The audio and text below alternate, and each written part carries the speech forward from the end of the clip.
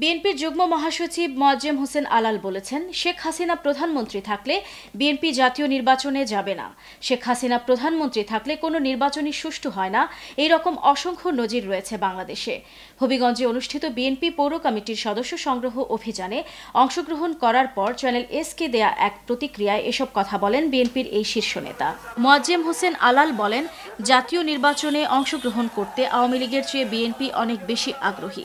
কিন্তু সহায়ক সরকারই হোক আর যে নামেই হোক, নিরপেক্ষ সরকার ছাড়া বিএনপি নির্বাচনে যাবে না।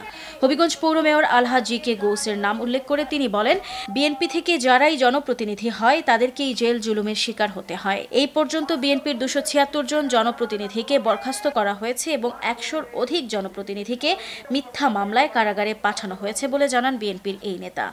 বিএনপি হবিগঞ্জ পৌর কমিটির সদস্য সংগ্রহ অভিযানকে কেন্দ্র করে নেতাকর্মীদের মধ্যে উৎসাহ উদ্দীপনা দেখা যায়। বিএনপি পৌর কমিটি আহ্বায়ক মোহাম্মদ আবুল হাসিমের সভাপতিত্বে অনুষ্ঠিত এক সভায় আরও বক্তব্য রাখেন হবিগঞ্জ জেলা বিএনপির সাধারণ সম্পাদক মেয়র আলহাজ জি কে গৌস ও সাবেক সংসদ সদস্য শাম্মী আক্তার শিপা।